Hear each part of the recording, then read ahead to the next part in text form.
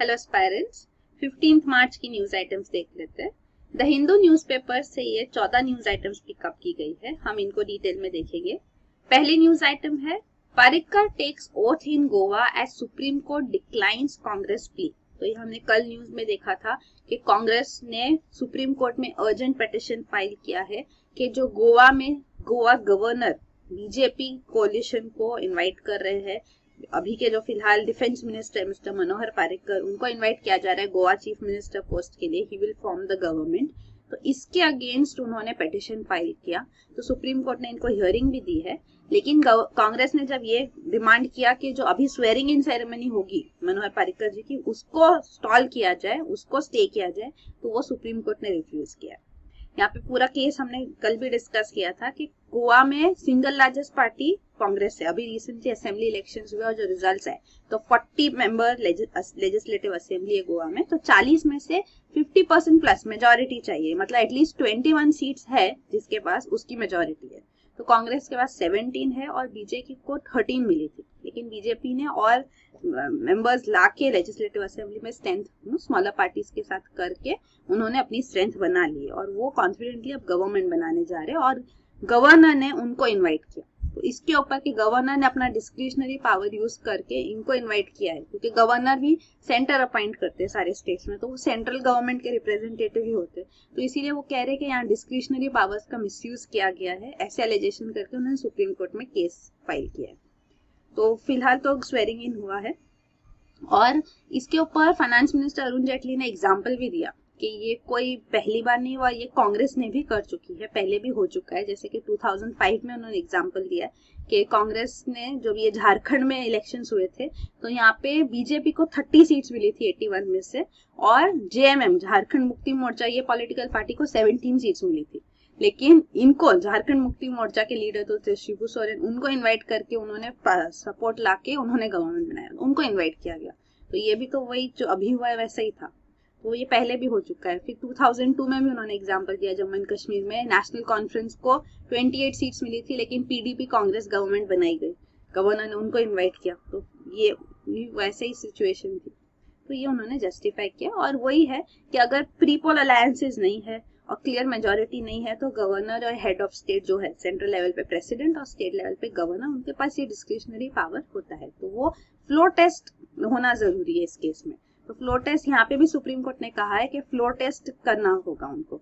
मतलब कि floor test का मतलब है आप वोटिंग करके पता करो कि आपकी मेजोरिटी है या नहीं। On the floor of the house मतलब लेजिस्लेटिव असेंबली हाउस में आप टेस्ट करोगे कि मेजोरिटी है कि नहीं।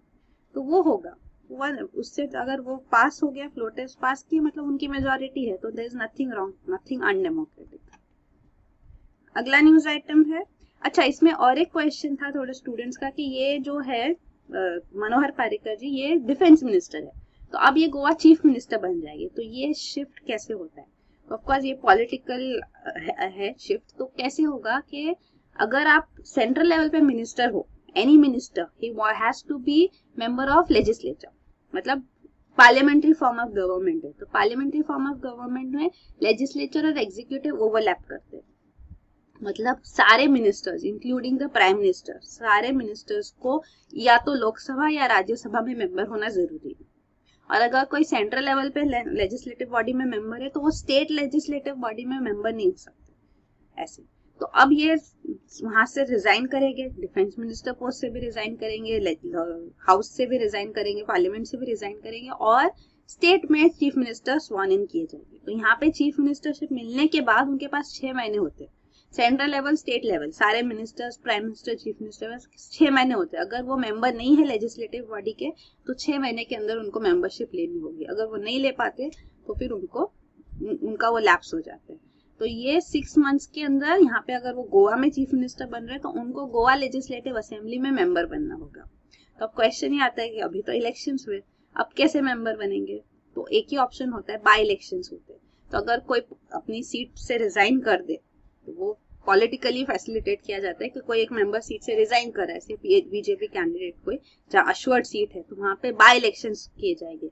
बाय इलेक्शन मतलब कि कोई वन ऑफ़ सीट्स होती है जो रेजिग्नेशन डेथ वगैरह से जब फ्री हो जाती है तो वहाँ उन पर्टिकुलर सीट के लिए वो कॉन्स्टिट्यूंसी में इलेक्शन किए जाते हैं तो लोग वोट करते तो ये बाई इलेक्शन किए जाएँगे, उनमें उन्होंने सीट जीत ली तो वो जीत जाएगी। तो ये पॉसिबिलिटी यही होती है। अगर अपर हाउस है तो थोड़ा इजी हो जाता है, क्योंकि ये लोअर हाउस में तो पीपल वोट करते हैं और अपर हाउस में एक्चुअली इनडायरेक्ट इलेक्शन होते हैं। अपर हाउस है नहीं यहाँ पे।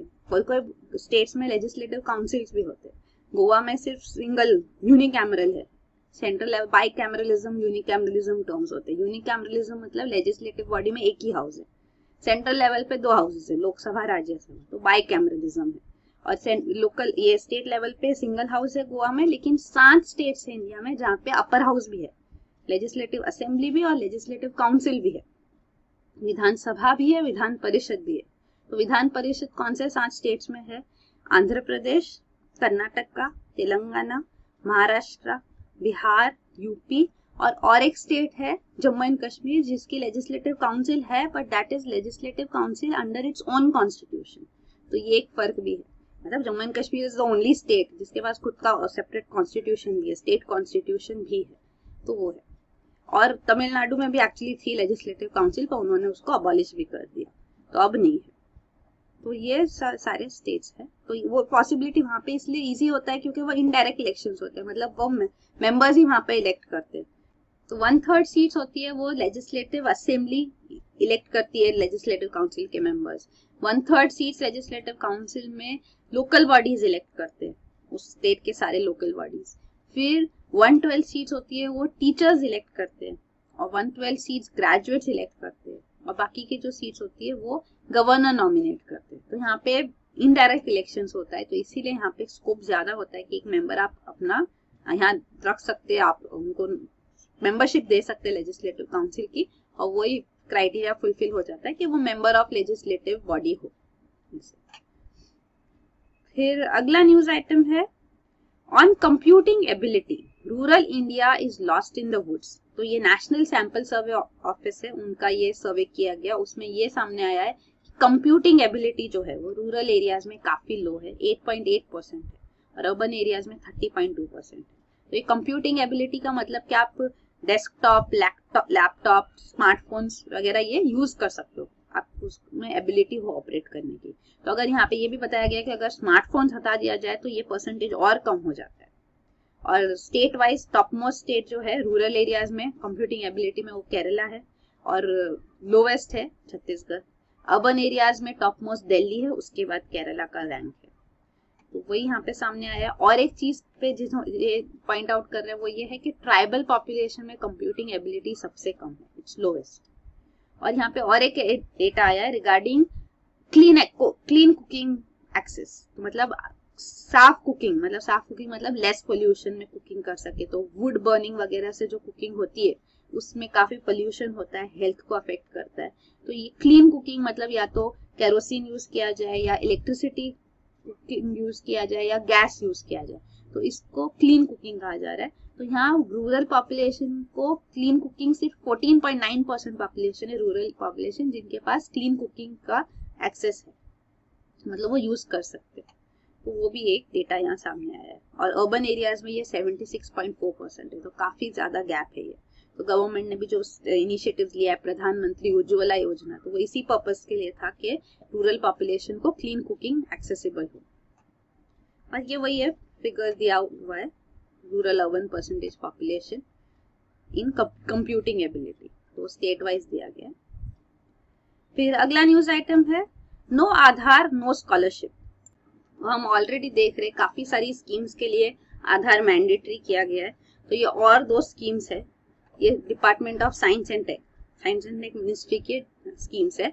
दिशा प्रोग्राम और इंस्पायर प्रोग्राम तो ये दोनों के लिए भी अभी आधार मैंडेटरी हो गया मतलब अगर आधार नहीं होगा तो ये स्कीम में यहाँ पे जो स्कॉलरशिप दी जाती है, वो नहीं दी जाएगी। एच आर डी मिनिस्ट्री की स्कॉलरशिप भी हमने देखी काफ़ी सारी, उनमें ये मैंडेटरी किया गया है। पर वही है, जो भी ये नोटिफिकेशन आ रहे हैं, उसमें ये भी क्लैरिफाई किया जा रहा है कि अगर उनके पास आधार सेंटर नहीं है, जहाँ पे वो अपना आधार बना सके रजिस्टर कर सके तो उनके लिए ये प्रोविज़न लाना भी मिनिस्ट्री का या ये जो बॉडी है गवर्नमेंट की रिस्पॉन्सिबिलिटी है।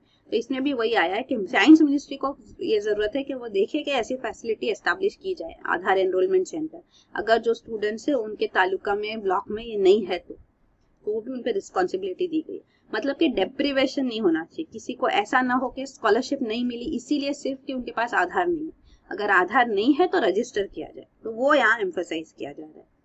तो ये जो दो स्कीम्स है दिशा प्रोग्राम जो है दिशा उन महिलाओं के लिए फीमेल्स के लिए ये दिशा तो जो साइंस बेस्ड करियर बनाना चाहती है, पर सोशल ऑब्लिगेशन की वजह से वो ये करियर कंटिन्यू नहीं कर पाई तो अब वो फिर से इस तरफ़ जाना चाहती है। तो उनके लिए दिशा प्रोग्राम है है ना? वुमेन साइंटिस्ट के लिए। तो ब्रेक जिसको करियर में ब्रेक आ गया है सोशल रिस्पॉन्सिबिलिटीज की वजह से तो वो रिटर्न कर सकती है मेन स्ट्रीम वर्क तो ये एक प्रोग्राम है और जो ये इंस्पायर स्कीम है तो इंस्पायर का, जो एक्रोनिम है उसका है innovation in science pursuit for inspired research तो यहाँ पे इंस्पायर के अंदर काफ़ी सारे प्रोविज़न है। यहाँ पे स्कॉलरशिप दी जाती है, यहाँ पे इवन रिसर्च करियर के लिए इनिशिएटिव जो ये स्कॉलरशिप दी जाती है, उसके अलावा स्टूडेंट्स को इवन कैश प्राइजेस दिए जाते हैं स्कूल स्टूडेंट्स को जब वो साइंस मॉडल्स बनाते हैं, जो नो फेयर्स के लिए वगैरह। इवन राष्ट्रपति भवन में काफ़ी सारे डिस्प्ले किए जाते हैं हर साल। फिर और है इवन साइंटिस्ट के लिए रिसर्च कॉन्ट्रैक्ट अश्योर किए जाते हैं ऑफर्स दिए जाते हैं। तो ये सारे इंस्पायर स्कीम के अंदर है। मतलब इंटर्नशिप भी दी जाती है स्कॉलरशिप भी दी जाती है अवार्ड्स दिए जाते हैं। तो ये सारे है। और इसके अंदर अब आधार मैंडेटरी का जो प्रोविज़न है, उसके ऊपर सुप्रीम कोर्ट का ये स्टैंड रहा है अब तक कि सुप्रीम कोर्ट ने कहा है कि आधार वॉल्यूंट्री है। इसको आप कंपलसरी नहीं कर सकते आधार आपको बनाना ही पड़ेगा। तो एक पॉइंट उन्होंने वो रखी थी, पर अब तो गवर्नमेंट ने आधार एक्ट भी फाइनलाइज कर लिया है मतलब लीगल बैकिंग भी है कि लॉ के अकॉर्डिंग ये मैंडेटरी किया जा रहा है। वो एक पॉइंट है और दूसरा जो पॉइंट है प्राइवेसी का, उसके ऊपर अभी भी सुप्रीम कोर्ट हियरिंग कर रही है आधार के ऊपर। तो राइट टू प्राइवेसी के प्रोविज़न के ऊपर अब क्या आएँगे प्रोविज़न वो हम देखेंगे, सुप्रीम कोर्ट के व्यूज़ पर सुप्रीम कोर्ट ने ये भी कहा है कि सब्सिडीज के लिए आधार मैंडेटरी करना उन्होंने अलाउ भी किया है। तो जैसे कि पीडीएस सिस्टम है पब्लिक डिस्ट्रीब्यूशन सिस्टम के लिए वो यूज़ किया जा सकता है Aadhaar. Even LPG cylinders distribution जो स्कीम्स है, प्रधानमंत्री उज्ज्वला योजना, इसमें भी यूज़ किया गया है। आधार मैंडेटरी किया गया सर्व शिक्षा अभियान भी हमने अभी देखा है रिसेंटली थोड़े दिन पहले मिड डे मील स्कीम्स के लिए भी आधार मैंडेटरी किया गया था। इवन दोज वर्किंग जो कुक कर रहे हैं और जो स्टूडेंट्स है दोनों के लिए। तो वही थोड़े सोशल कंसर्न्स भी आते हैं, क्योंकि जिनके पास आधार नहीं है, उनको नहीं मिलता है फिर मिड डे मील तो वो डेप्रीवेशन हो जाता है। तो वो बस एक पॉइंट है एंश्योर करना कि किसी को डेप्रीवेशन ना हो, किसी को इससे दूर ना रखा जाए। तो वो अगर एंश्योर किया जा सकता है, सबको आधार एनरोलमेंट हो जाएगा इस बेसिस पे तो देन एवरीथिंग फाइन तो वही एक पॉइंट है यहाँ पे। तो ये है। तो इंस्पायर के बारे में भी यहाँ दिया गया। एक पॉइंट जो इंटरेस्टिंग है इंस्पायर के बारे में वो ये है कि यहाँ पे कोई टेस्ट नहीं कंडक्ट किया जाता है कॉम्पिटेटिव एग्ज़ाम नहीं कंडक्ट किया जाता है टैलेंट आइडेंटिफाई करने के लिए। जो एग्जिस्टिंग एजुकेशनल स्ट्रक्चर जो है, वहाँ उसको यूज़ करके यहाँ पे वो मार्क्स स्कोर्स यूज़ करके यहाँ पे टैलेंट आइडेंटिफाई किया जाता है इंस्पायर में। फिर ये उज्ज्वला योजना, वही है। एलपीजी कनेक्शन मिलते हैं वुमेन को, जो बीपीएल हाउस होल्ड की है। मतलब बिलो पॉवर्टी लाइन जो वुमेन है, उनके लिए फ्री एलपीजी कनेक्शन होते हैं। फिर अगला न्यूज़ आइटम है, Lok Sabha clears amended enemy property bill तो ये enemy property amendment and validation bill 2016 है। इसको फ़िलहाल लोकसभा ने पास कर लिया। इसको हमने पहले भी थोड़े दिन पहले डिस्कस किया था कि राज्यसभा ने इसका अमेंडेड वर्जन पास किया। तो उसको ऑलरेडी लोकसभा ने पास कर लिया था, पर सिर्फ़ क्योंकि राज्यसभा ने अमेंडमेंट करके पास किया तो अब लोकसभा में भी अमेंडेड वर्जन आया और उन्होंने ये पास कर लिया तो अब ये बिल पास हो चुका है। तो यहाँ पे ये बिल एक्चुअली बहुत पुराना बिल है, पर ये पास नहीं हो पाया था। तो इसीलिए इसको अलाइव रखने के लिए भी प्रेजेंट गवर्नमेंट ऑर्डिनेंसेस यूज़ कर रही थी। तो पांचवा ऑर्डिनेंस प्रोमलगेट भी किया गया था। तो ये पूरा हमने डिटेल में ऑलरेडी सेवनटीन फेब को डिस्कस किया है। तो आप इसका डिटेल पूरा ऑर्डिनेंसेस के साथ उसका देख सकते हो वो वीडियो में। और अभी जो है, हम इतना ही डिस्कस करेंगे कि एनिमी प्रॉपर्टी होती क्या है। तो ये एनिमी प्रॉपर्टी जस्ट रिविजन है ये, कि जो प्रॉपर्टी एनिमीज को बिलोंग करती है और एनिमीज किन को डिफाइन किया जाता है? जब दो कंट्री वॉर पे है तो सामने वाली कंट्री अपोजिट कंट्री के सारे सिटीजन एनिमी है। मतलब this is not just terrorist और नॉट जस्ट कोई अक्यूज है या कुछ है, सारे के सारे एनिमी माने जाते हैं। मतलब जब इंडिया पाकिस्तान वॉर था इंडिया चाइना वॉर था तो इंडिया चाइना वॉर 1962 में हुआ 1965 और 71 में इंडिया पाकिस्तान वॉर हुए। तो वो टाइम पे इनको एनिमी डिक्लेयर कर दिया गया जो पाकिस्तानी नेशनल्स थे और उनकी जो प्रॉपर्टी यहाँ पे थी तो वो एनिमी प्रॉपर्टी मानी गई। तो उसको अटैच कर दिया गया, वो कस्टडियन के पास गवर्नमेंट कस्टडियन के पास उनकी अथॉरिटी आ गई। अब बाद में कोर्ट केसेस हुए, अब तो वॉर एंड हो गई है। तो अब कोर्ट केसेस में इनहेरिटेंस के बेसिस पे वगैरह ये क्लेम किया जा रहा था कि ये प्रॉपर्टी उनको रिटर्न की जाए। पर गवर्नमेंट नहीं चाहती कि कोई प्रॉपर्टी कस्टडियन के पास से जाए। तो वो फॉर एवर कस्टडियन के पास ही रखे गवर्नमेंट ही उनको डिस्पोज ऑफ़ करे, ये वो चाहते तो वही है, क्योंकि पॉइंट ये था कि पाकिस्तान में जो एनिमी प्रॉपर्टीज़ वगैरह भी डिक्लेयर की गई थी इंडियंस की, वो उन्होंने तभी डिस्पोज ऑफ़ कर दी। लेकिन इंडिया में वो अब तक है, और अब तक वो हम उसके ऊपर इनहेरिटेंस के क्वेश्चन आ रहे हैं अब। तो यही अमेंडमेंट में भी यही लाया जा रहा है कि कोई इसके अंदर कोई कोर्ट का जुरिस्डिक्शन भी नहीं होगा इन सारी प्रॉपर्टीज़ में और इसमें कोई इनहेरिटेंस लॉ भी अप्लाई नहीं होगा। ये सारा कस्टडियन के पास ही रहेगा और गवर्नमेंट इसको डिस्पोज ऑफ़ करेगी। तो ये यहाँ पे पावर्स दिए गए हैं। फिर अगला न्यूज़ आइटम है। EU religious science ban sparks outreach तो ये यूरोपियन कोर्ट ऑफ़ जस्टिस है। इनके सामने जो केस आए थे ईयू के कोर्ट है ये। तो यहाँ पे दो पर्टिकुलर केसेस आए थे जिसके ऊपर उन्होंने एजुडिकेशन किया है।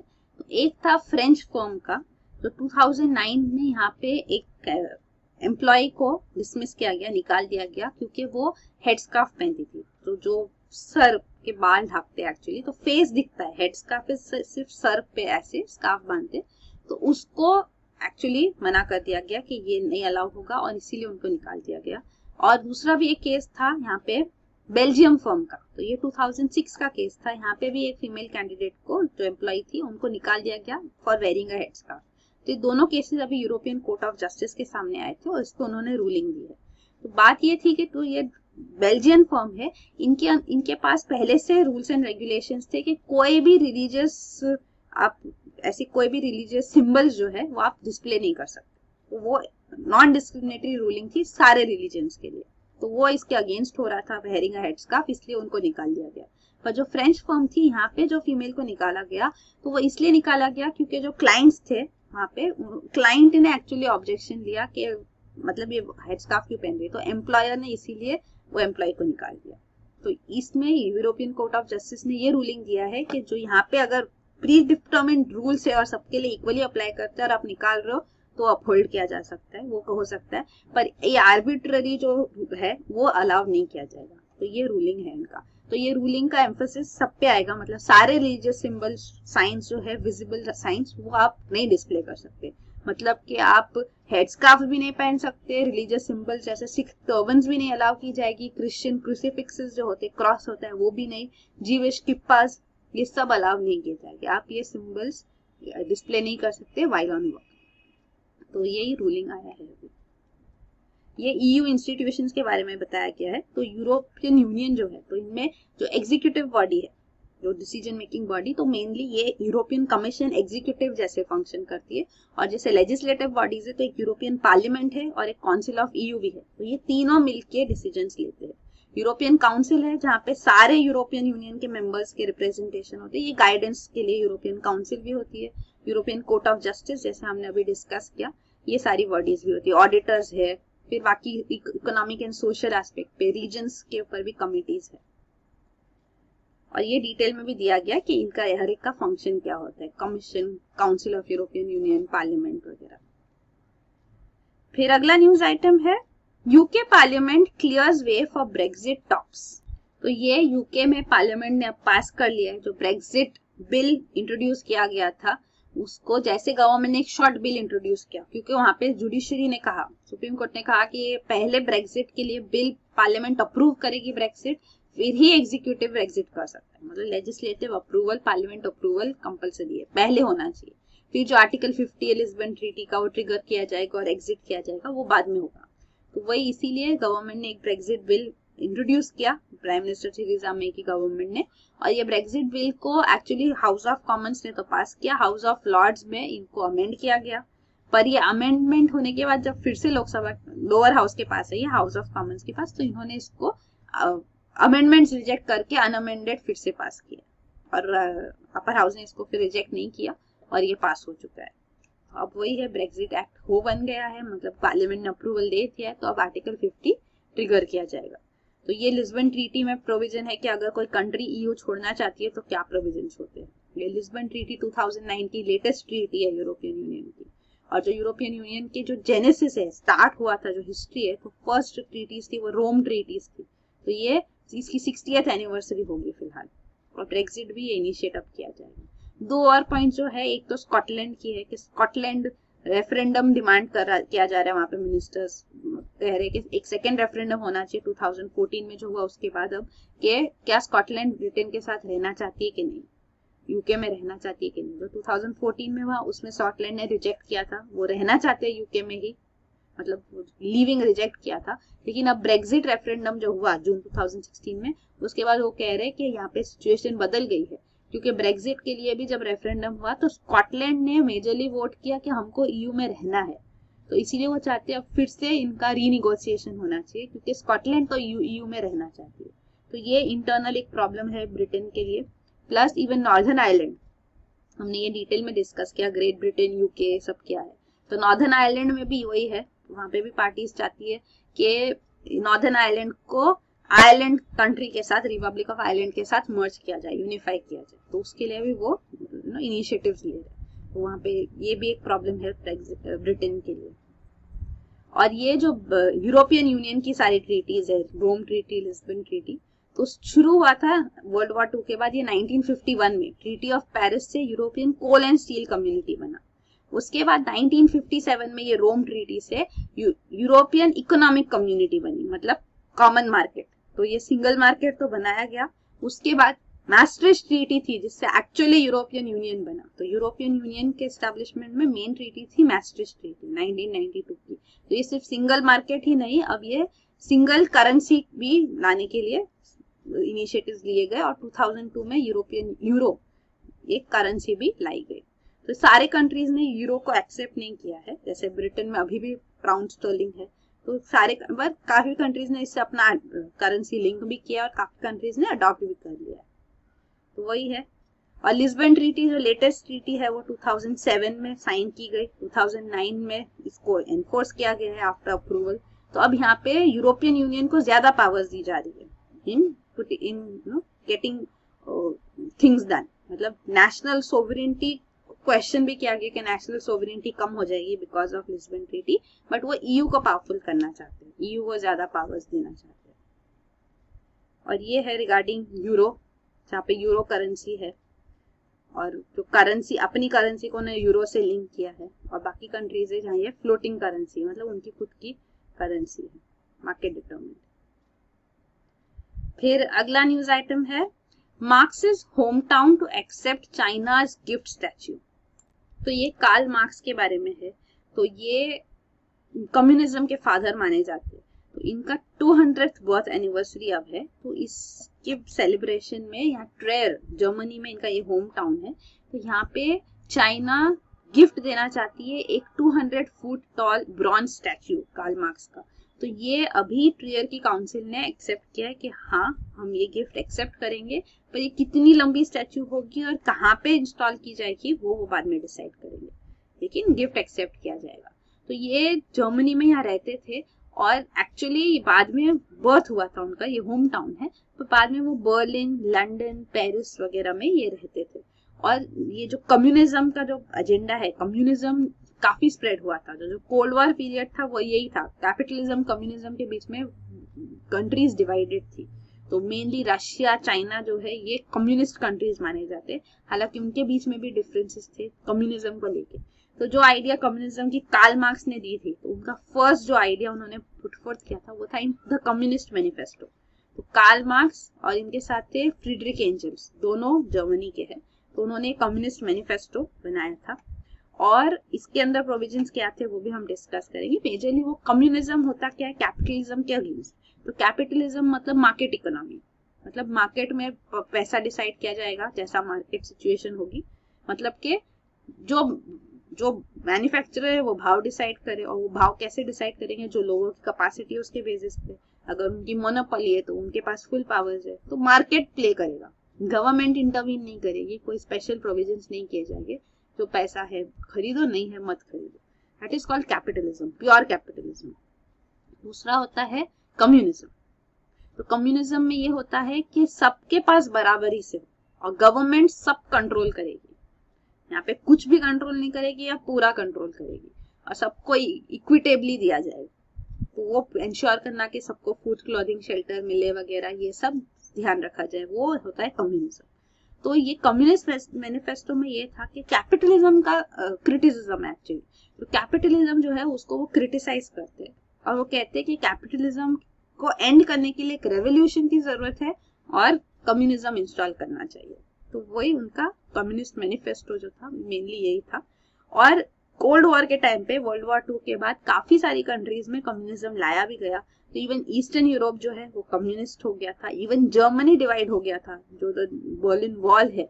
तो ये भी जो था, ये जर्मनी को दो पार्ट्स में डिवाइड किया. वेस्ट जर्मनी और ईस्ट जर्मनी और ईस्ट जर्मनी जो था, वो कम्युनिस्ट के अंदर था. वेस्ट जर्मनी कैपिटलिस्ट में था.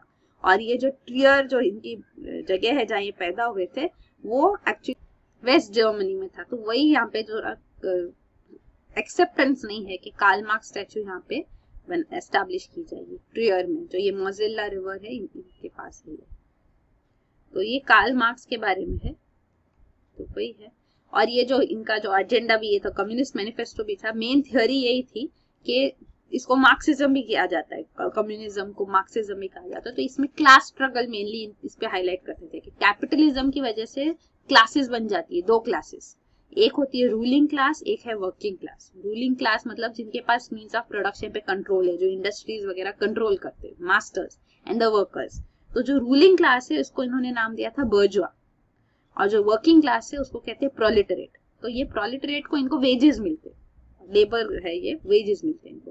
तो इनके इनके जो मेजोरिटी यही है, और इनके ऊपर इतनी अट्रोसिटीज हुए, इतने कम वेजेस मिले, इनको इनको प्रॉफिट्स का शेयर नहीं मिला है और इसीलिए इनके एब्जेक्ट कंडीशंस की वजह से पुअर कंडीशंस की वजह से अब ये इनको राइज करना है।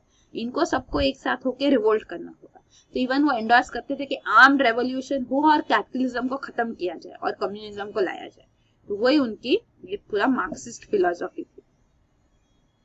तो उन्होंने एक बुक भी लिखी है दास कैपिटल तो ये ती, तीन वॉल्यूम्स में बुक्स भी लिखी गई है ऑन मार्क्सिज्म वही वो कहते हैं कैपिटलिज्म जो है वो सेल्फ डिस्ट्रक्टिव है। तो उसमें इतनी इंटरनल टेंशन डेवलप होती है कि वो खुद ही डिस्ट्रॉय हो जाएगा और नया सिस्टम आएगा। और एक टर्म होता है सोशलिज्म तो सोशलिज्म का मतलब होता है कि कैपिटलिज्म एक एक्सट्रीम है कम्युनिज्म एक एक्सट्रीम है। सोशलिज्म है मतलब कि आप जिनके पास नहीं है, उनसे उनको दे दे रहे हो, पर जिनके पास है, उनसे ऐसे छीन के इनको दे रहे या सबको नीचे लाने की बात नहीं होती। एटलीस्ट जो हैव नॉट्स है हैव और हैव नॉट्स तो जिनके पास नहीं है, उनको दिया जाए स्पेशल असिस्टेंस दिया जाए पॉजिटिव डिस्क्रिमिनेशन किया जाए, उसको कहते हैं सोशलिज्म तो वही जैसे हमारे कंट्री में भी सोशल स्कीम्स वगैरह है तो वो सोशलिज्म है। तो ये क्लासलेस सोसाइटी कम्युनिस्ट सोसाइटी बनाने का उनका इवेंचुअल गोल था कम्युनिज्म में। तो आज की तारीख में अगर देखा जाए तो कोई भी प्योरली कम्युनिस्ट कंट्री है नहीं। चाइना रशिया भी प्योर कम्युनिस्ट नहीं है। तो मार्केट बेस्ड उनका फंक्शनिंग काफ़ी ज़्यादा है। एक्सटर्नल रिलेशंस पूरा मार्केट बेस्ड है उनका। तो ये कम्युनिस्ट मैनिफेस्टो के बारे में भी है। तो इन्होंने लिखा था फॉर कम्युनिस्ट लीग जो पेरिस बेस्ड ऑर्गेनाइजेशन तब बनाई गई थी, उसके लिए 1848 में पब्लिश किया गया था। और इसके वही प्रोविजंस दिए गए हैं कि कम्युनिज्म इज़ इनएविटेबल कि वो आना ही है। कैपिटलिज्म इनहेरेंटली अनस्टेबल है रेवोल्यूशन की ज़रूरत है, और इसको कैपिटलिज्म को हटाने की हटाएँगे और इक्वल नो इक्वल सोसाइटी बनाएँगे इगैलिटेरियन सोसाइटी का एक्चुअली ड्रीम था, जिसमें कोई हैरारकी भी नहीं होगी, कोई बड़ा छोटा नहीं होगा। फिर अगला न्यूज़ आइटम है फ़ूड एंड फ्यूल प्राइसेस पर एक्सीलरेशन इन इन्फ्लेशन तो ये WPI और सीपीआई के डेटा के हिसाब से क्लियर हुआ है मतलब होलसेल प्राइस इंडेक्स और कंज्यूमर प्राइस इंडेक्स तो ये होलसेल प्राइस इंडेक्स के फिगर्स जो है वो ministry of commerce and industry ने रिलीज़ किया रिसेंटली और even CPI ministry of statistics and programme implementation इनके थ्रू जो आया है। तो इसमें क्लियरली आ रहा है कि एक्सेलरेट हुआ है मतलब बड़ा है। तो रिसेंटली जो प्राइसेस इन्फ्लेशन ये इन्फ्लेशन के इंडिकेटर्स है मतलब इससे इन्फ्लेशन पता चलता है। ये बढ़ है मतलब प्राइसेस बढ़ है मतलब इन्फ्लेशन है। तो वही है। तो ये यहाँ पे इनके, ये कम हो रहे थे।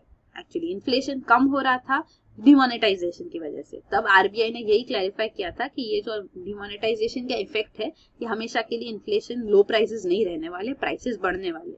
इसीलिए आरबीआई ने अपनी मॉनेटरी पॉलिसी स्टांस भी चेंज किया था। उन्होंने न्यूट्रल स्टांस किया था। मतलब कि वो किसी भी डायरेक्शन में जा सकते इन्फ्लेशन बढ़ेगा तो वो भी अपने जो रेट्स है रेपो रेट मेनली उसको उस हिसाब से चेंज करेंगे। बढ़ेगा तो वो और घटेगा। जैसे डायरेक्शन जैसे हो गए फ्यूचर डेवलपमेंट्स वैसे हमारा स्टांस होगा। अभी हम न्यूट्रल है। कोई के टूर इंक्लाइन नहीं है ऐसे। और वही है तो यही हुआ है कि इन्फ्लेशन पहले कम था, अब बढ़ रहा है, वो क्लियर है। फेब्रुवरी का हर मंथ का ये डेटा आता है W P I C P I का। तो ये फेब्रुवरी मंथ के डेटा के हिसाब से दोनों ने दोनों में बढ़ा बढ़त हुई है और ये रीजन इसका मेनली है food and fuel price inflation तो फ़ूड एंड फ्यूल प्राइसेस क्योंकि बर्ड है?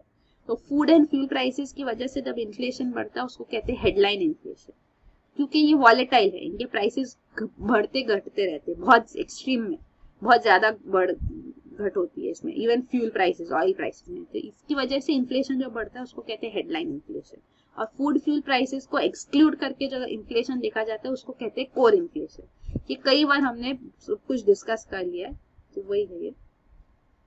अगला न्यूज़ आइटम है MeitY upsets Apple cart of not feasible तो ये ministry of electronics and IT है।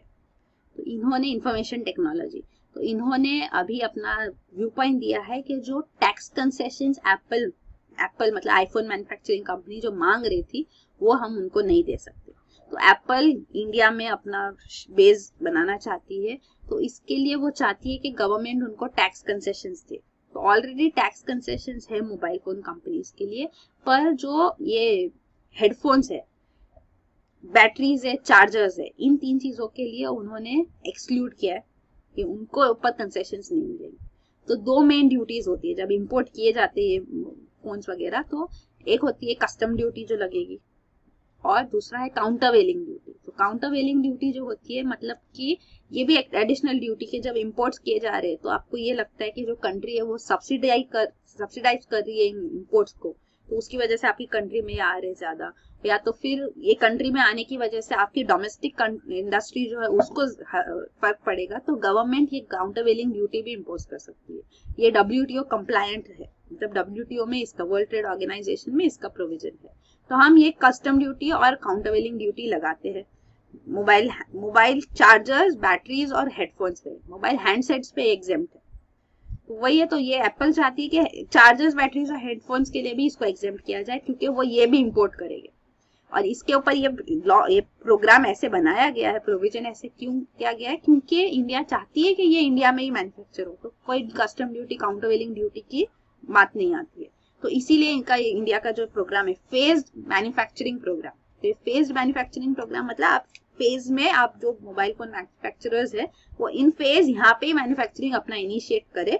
और ये फ़र्स्ट इनिशिएटिव यही हो सकता है कि चार्जर्स बैटरीज हेडफोन्स यहाँ बनाए जाए। फिर मोबाइल फोन्स भी बाद में आए, ऐसे। तो वो एक हमारा एक्सपेक्टेशन है। और एप्पल कहती है कि हम धीरे धीरे आएँगे तो जब शुरू में आएँगे तो हम तो ये भी इम्पोर्ट ही करेंगे, बाद में देखेंगे। तो इसीलिए वो चाहते हैं, अब तो हम बाहर से मंगवाएँगे तो हमको ये एग्जामेशन दिया जाए। पर ministry of electronics and IT ने कहा है कि नहीं, ये टैक्स पॉसिबल नहीं होंगे तो वही यहाँ पे क्लियर हो गया। और वही है, इनके ऊपर काउंटर वेलिंग ड्यूटी भी लगेगी। हेडफोन्स जो है, उसका रेट है ट्वेल्व पॉइंट फाइव परसेंट तो वो उनको नहीं चाहिए कि ये ना लगे। वही है।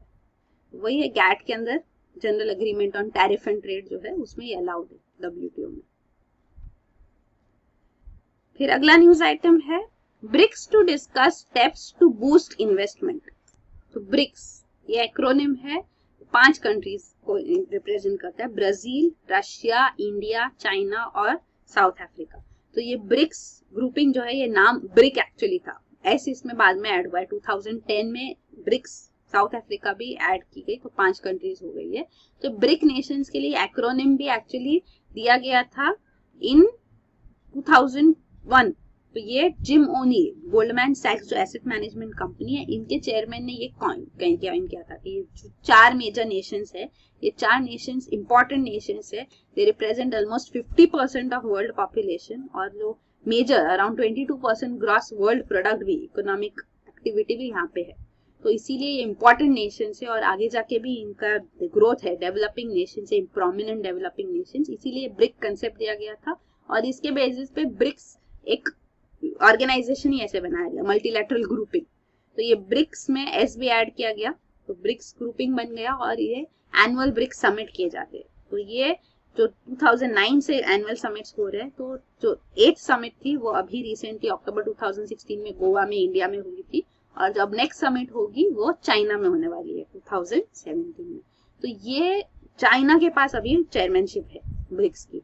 तो यहाँ चाइना एम्फोसाइज कर रही है कि ट्रेड फैसिलिटेशन के ऊपर प्रोविज़न लिए जाए इन्वेस्टमेंट फैसिलिटेशन ई कॉमर्स ये इश्यूज़ को वो एंडोर्स कर रही है।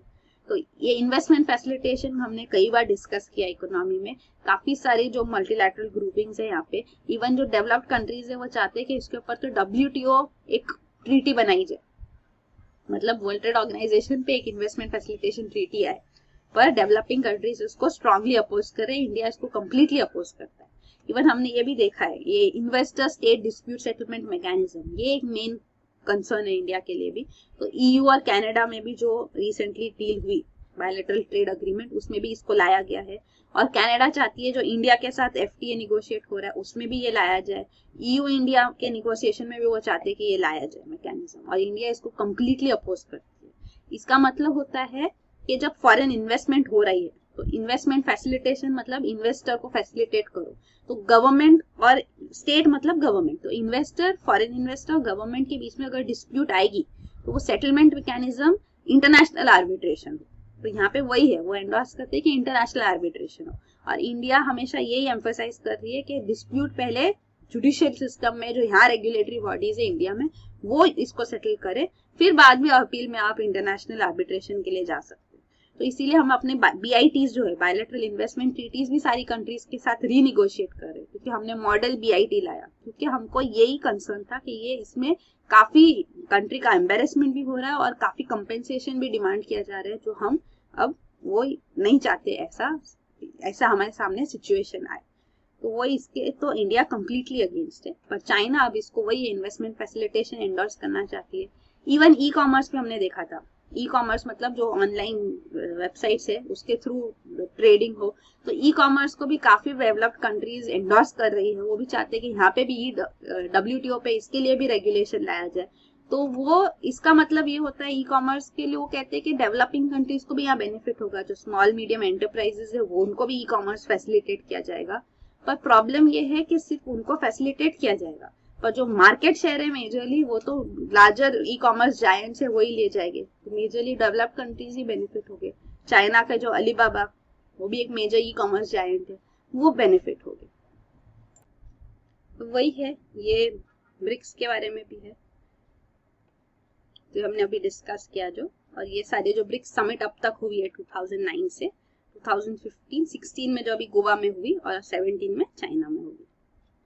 अगला न्यूज़ आइटम है a glow in the dark frog found in Argentina तो ये साउथ अमेरिका अर्जेंटीना में पोलका डॉट ट्री फ्रॉग पाया गया। तो ये पहली बार है कि एक फ्रॉग टेरेस्ट्रियल एनिमल में एनीवे फ्लोरेसेंस कम होता है और एक फ्रॉग में एम्फीबियन में पहली बार फ्लोरेसेंस पाया गया। तो फ्लोरेसेंस मतलब जो ये चमकते, ये कलर्स ऐसे एमिट करते कि अंधेरे में चमकते।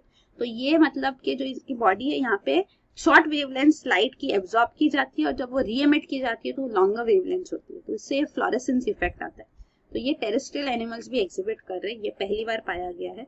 ओशन क्रिएचर्स में काफ़ी होता है कि कोरल्स है फ़िश शार्क वगैरह, यहाँ पे फ्लोरेसेंस पाया जाता है।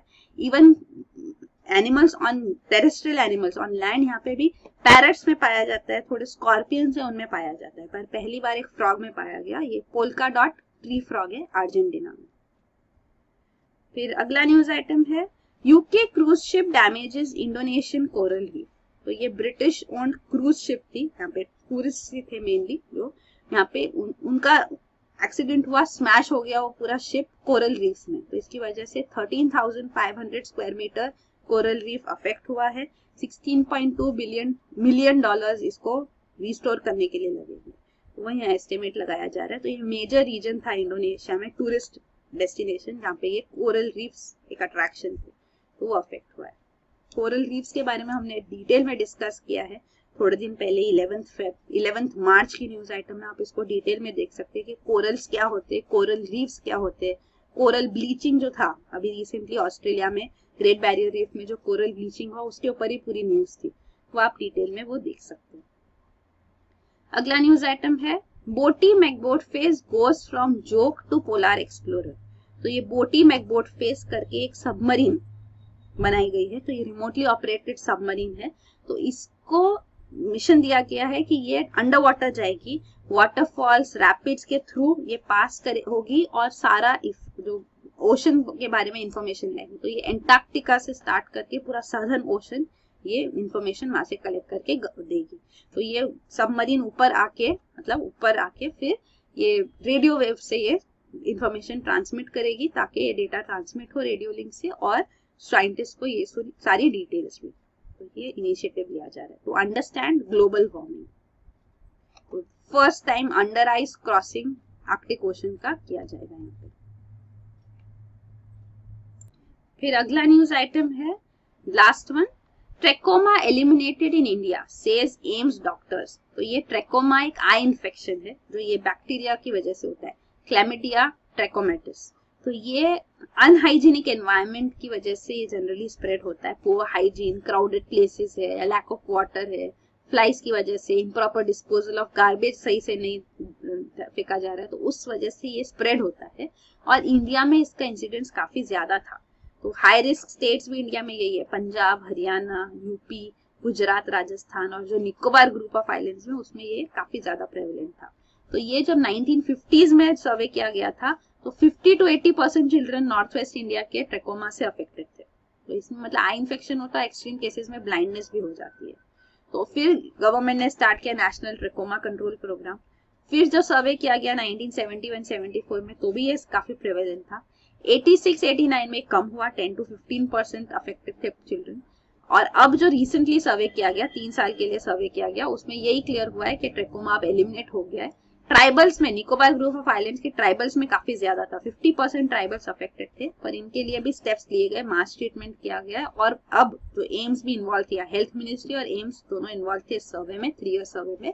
और इसमें उन्होंने कहा है कि अब ट्रेकोमा एलिमिनेट हो गया कंट्री से। तो वही है ये आई इन्फेक्शन तो यही है न्यूज़ आइटम्स। Thank you